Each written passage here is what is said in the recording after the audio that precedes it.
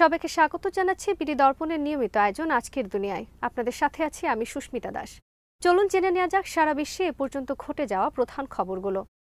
রাশিয়ার জাতীয় নিরাপত্তা কাউন্সিলের ডেপুটি চেয়ারম্যান ও দেশটির সাবেক প্রেসিডেন্ট দিমিত্রি মেদভেদেব বলেছেন, যতক্ষণ পর্যন্ত কিয়েভে ভলোদিমির জেলেন্সকির নেতৃত্বে সরকার ক্ষমতায় আছে, ততক্ষণ তাদের সাথে কোনো আলোচনা সম্ভব নয়। তিনি বলেন, আজ হোক, কাল হোক, আলোচনার মাধ্যমেই সমঝোতা হতে পারে। আলোচনার মাধ্যমেই শেষ হতে পারে যে কোনো সংঘাত, কিন্তু কিয়েভে জেলেন্সকির সরকার থাকলে তা সম্ভব নয়। তিনি জানান, এই সরকার যতদিন ক্ষমতায় আছে, রাশিয়ার দিক থেকে আলোচনায় বসার শর্ত পরিবর্তন হবে না। সংকট সমাধানে জেলেনস্কির সরকারকে উৎখাতের দাবি জানান ভ্লাদিমির পুতিন প্রশাসনের প্রভাবশালী এই কর্মকর্তা। গত বছরের ফেব্রুয়ারিতে ইউক্রেনের সামরিক অভিযান শুরু করে রাশিয়া। এরপর থেকে দুই দেশের মধ্যে সংলাপ ও সমঝোতার অনেকগুলো উদ্যোগ নেওয়া হলেও তা ফলপ্রসূ হয়নি। এখন রাশিয়া বলছে জেলেন্সকির সরকারের সাথে তারা সংলাপে আগ্রহী নয়। এদিকে ইউক্রেনের পূর্বাঞ্চলে দিনিপ্র শহরের একটি হাসপাতালে আঘাত এনেছে রাশিয়ার ক্ষেপণাস্ত্র। এতে অন্তত দুইজন নিহত ও পনেরো জন আহত হয়েছে। ইউক্রেনের প্রেসিডেন্ট ভলোদিমির জেলেন্সকি হামলার তথ্যের সত্যতা নিশ্চিত করেন। জেলেন্সকি ধ্বংসপ্রাপ্ত ভবনগুলোর একটি ভিডিও পোস্ট করেন। সেখান থেকে দেখা যায়, ভবন থেকে ধোঁয়া বের হচ্ছে। ঘটনাস্থলে কাজ করছেন ফায়ার সার্ভিসের কর্মীরা। তিনি বলেন রাশিয়ার সন্ত্রাসীরা আবারও মানবিক এবং ভালো সবকিছুর বিরুদ্ধে তাদের যোদ্ধাদের অবস্থান নিশ্চিত করেছে। অর্থনৈতিক সংকট উত্তরণে উপসাগরীয় দেশগুলো তুরস্ককে সহযোগিতা করছে বলে জানিয়েছেন দেশটির প্রেসিডেন্ট রিসেপ তাইপ এরদোয়ান। তিনি বলেছেন, আঠাশ তারিখের দ্বিতীয় দফা নির্বাচনের পর এ বিষয়ে দেশগুলোর প্রতি আনুষ্ঠানিক কৃতজ্ঞতা জানাবেন। সিএনএন তুর্ক চ্যানেলকে দেয়া সাক্ষাৎকারে তুরস্কের প্রেসিডেন্ট বলেন আমাদের অর্থনীতি ও ব্যাংকিং সেক্টর এখন খুব শক্তিশালী। কিছু উপসাগরীয় দেশ আমাদের দেশে অর্থ জমা করছে। এটি সম্প্রতি ঘটেছে এবং এর ফলে অল্প সময়ের জন্য হলেও আমাদের কেন্দ্রীয় ব্যাংক ও মুদ্রা বাজার চাঙ্গা হয়েছে। কয়েক বছর ধরে সংকটের মধ্য দিয়ে যাচ্ছে তুরস্কের অর্থনীতি। দেশটিতে জীবনযাত্রার ব্যয় বেড়ে গেছে। এর ফলে নিম্ন ও মধ্যবিত্তরা অসুবিধায় রয়েছে। এর আগে মিডল ইস্ট আয়ের এক রিপোর্টে বলা হয়েছিল, এরদোয়ান পুনরায় প্রেসিডেন্ট হলে উপসাগরীয় আরব দেশগুলোর অর্থনৈতিক সমর্থনের ওপর নির্ভরশীল হয়ে পড়তে পারে তুরস্ক। গত বছর খানেক ধরে আরব রাজধানীগুলোর সাথে আঙ্কারার দূরত্ব অনেকটাই কমেছে। উভয় পক্ষ কাছাকাছি আসার আগ্রহ প্রকাশ করেছে। এরদোয়ানের এই বক্তব্যের পর বিষয়টি আরও স্পষ্ট হয়েছে। সৌদি আরব, সংযুক্ত আরব আমিরাত কিংবা কাতারের মতো দেশগুলো থেকে বড় বিনিয়োগ পেলে তুরস্কের অর্থনীতির ঘুরে দাঁড়ানো সহজ হবে বলে মনে করেন বিশেষজ্ঞরা। আরব বসন্তের পর কাতারের সাথে ঘনিষ্ঠতা বাড়লেও রিয়াদ ও আবুধাবির সাথে তুরস্কের দূরত্ব ক্রমশই বেড়েছে। সাংবাদিক জামাল খাশোগি হত্যাকাণ্ডের পর সেটি চরম আকার ধারণ করে। রোববার তুরস্কের প্রেসিডেন্ট নির্বাচনের দ্বিতীয় দফা ভোট গ্রহণ হবে।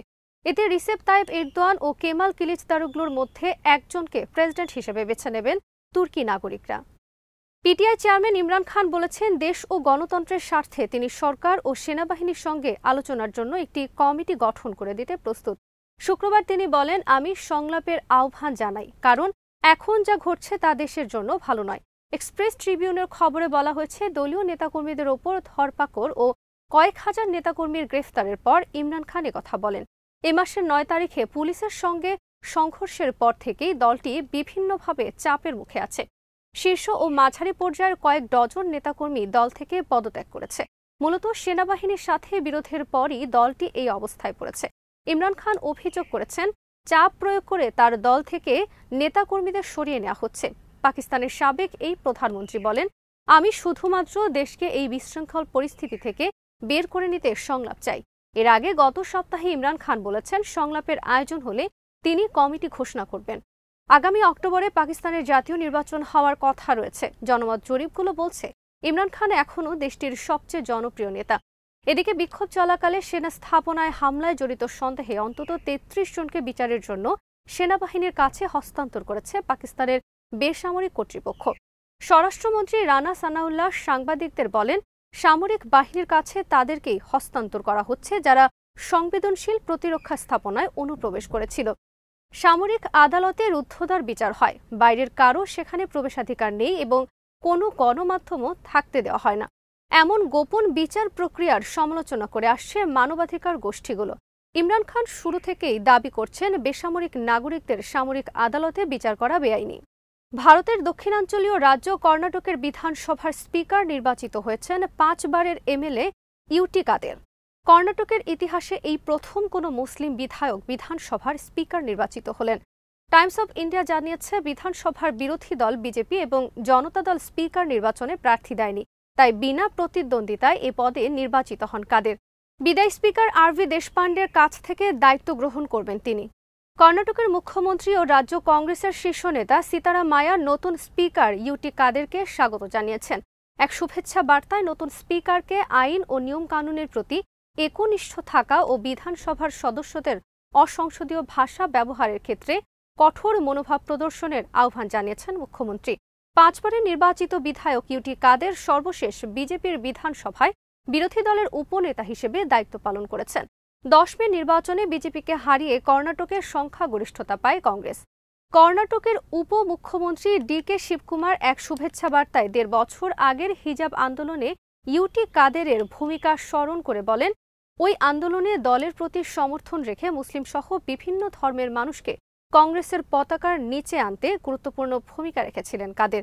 এদিকে ক্ষমতায় ফিরেই বিজেপি শাসনের বেশ কিছু আইনে পরিবর্তন আনার ঘোষণা দিয়েছে কর্ণাটকের কংগ্রেস সরকার, যার মধ্যে হিজাব নিষিদ্ধ করা বিলটিও রয়েছে। এছাড়া ওই রাজ্যে ধর্মান্তরকরণ বিরোধী বিল, গোহত্যা বিরোধী বিল সহ যেসব আইন নিয়ে সাম্প্রতিক অতীতে তীব্র রাজনৈতিক বিতর্ক হয়েছে, সেগুলো বাতিল করার কথা ভাবছে কংগ্রেস। কর্ণাটকে নবগঠিত মন্ত্রিসভার সদস্য ও দলের জাতীয় সভাপতি মল্লিকার্জুন খার্গের ছেলে প্রিয়াঙ্ক খার্গে এক টুইটে জানিয়েছেন, পূর্ববর্তী বিজেপি সরকারের আনা যেসব বিল রাজ্যের ভাবমূর্তিতে বিরূপ প্রভাব ফেলছে, বিনিয়োগ নিরুৎসাহিত করছে এবং যেগুলো অসাংবিধানিক ব্যক্তি অধিকারের লঙ্ঘন, সেগুলো পুনর্বিবেচনার জন্য সরকার দৃঢ়ভাবে অঙ্গীকারবদ্ধ। দুই হাজার বাইশ সালে রেকর্ড সংখ্যক অভিবাসীর আগমন ঘটেছে ব্রিটেনে। দেশটির সরকারি পরিসংখ্যান দফতর তথ্য অনুযায়ী, গত বছরের জানুয়ারি থেকে ডিসেম্বর পর্যন্ত ইউরোপ ও বিশ্বের অন্যান্য প্রান্ত থেকে ব্রিটেনে গিয়েছেন ছয় লাখেরও বেশি মানুষ, যার ফলে চাপে পড়েছেন প্রধানমন্ত্রী ঋষি সুনাক। আল জাজিরার খবরে বলা হয়েছে, এরা সবাই ব্রিটেনে বসবাসের বৈধতা নিয়ে এসেছেন, অর্থাৎ বৈধ অভিবাসী। দেশটির ইতিহাসে এর আগে এক বছরে এত সংখ্যক অভিবাসী আগমনের তথ্য নেই বলে এক বিবৃতিতে জানিয়েছে পরিসংখ্যান দফতর। পরিসংখ্যান দফতরের সাম্প্রতিক এই তথ্যে চাপে পড়েছেন ক্ষমতাসীন কনজারভেটিভ সরকারের প্রধানমন্ত্রী ঋষি সোনাক। আইটিভিকে দেওয়া এক সাক্ষাৎকারে প্রধানমন্ত্রী বলেন, বৈধ অভিবাসনের হার অতিরিক্ত মাত্রায় বৃদ্ধি পেয়েছে। আমি এটা কমাতে চাই এবং এই মুহূর্তে এটাই আমার জন্য জরুরি কাজ। ব্রিটেনের অভ্যন্তরীণ রাজনীতিতে দুই হাজার এগারো সাল থেকে গুরুত্ব পাওয়া শুরু করে অভিবাসন ইস্যুটি। জনগণের একাংশের অভিযোগ ছিল, বিশ্বের বিভিন্ন দেশ থেকে আসা অভিবাসীদের কারণে তারা নানাভাবে ক্ষতিগ্রস্ত হচ্ছেন। এই অভিযোগটিকে মূল ইস্যু হিসেবে তুলে ধরেই দুই সালে নির্বাচনে জয়ী হয়েছিলেন কনজারভেটিভ পার্টি। কসফোর উত্তরাঞ্চলে জাতিগত সার্বদের সঙ্গে পুলিশের সংঘর্ষের ঘটনায় সেনাবাহিনীকে উচ্চ সতর্কতায় রেখেছে প্রতিবেশী সার্বিয়া। আজাজিরা জানিয়েছে, নবনির্বাচিত পৌরসভার কর্মকর্তাদের পৌর ভবনে প্রবেশে বাধা দেওয়ার সূত্র ধরে সংঘর্ষের শুরু। পুলিশ এ সময় বাধাদানকারী সার্বদের ওপর টিয়ার গ্যাস ছুড়েছে। বেশ কিছু গাড়ি পোড়ানোর খবর পাওয়া গেছে। দক্ষিণ ইউরোপের মুসলিম অধ্যুষিত ছোট্ট একটি দেশ কসপো দেশটি ন্যাটোর সামরিক সহযোগিতায় সার্বিয়ার কাছ থেকে স্বাধীনতা পেয়েছে চলতি শতাব্দীর শুরুর দিকে। কিন্তু কসফোর উত্তরাঞ্চলে বসবাস করা কিছু সার্ব জনগোষ্ঠী কসফোর স্বাধীনতা মানতে নারাজ। তারা এখনও সার্বিয়ার অনুগত এবং প্রায়ই অঞ্চলটিতে অশান্তি সৃষ্টি করে। তাদের সহযোগিতা করার অভিযোগ আছে সার্বিয়ার বিরুদ্ধে।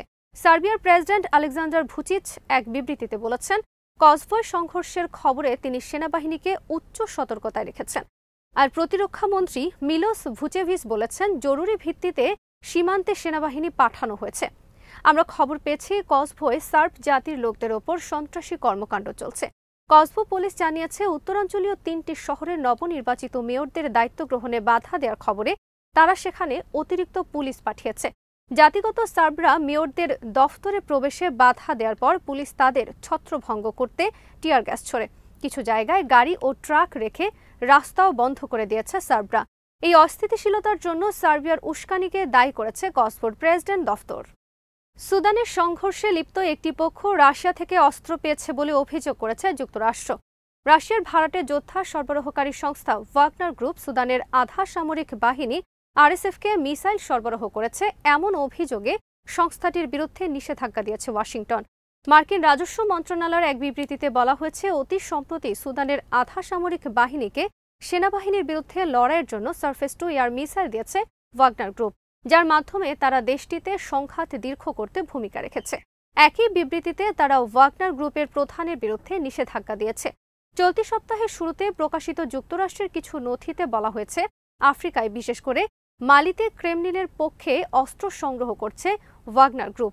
মহাদেশটির বিভিন্ন দেশের অভ্যন্তরীণ ইস্যুতে হস্তক্ষেপ এবং দেশগুলোকে অস্থিতিশীল ও মানবাধিকার লঙ্ঘনে সহযোগিতা করার জন্য ওয়াগনারকে দোষারোপ করেছে যুক্তরাষ্ট্র।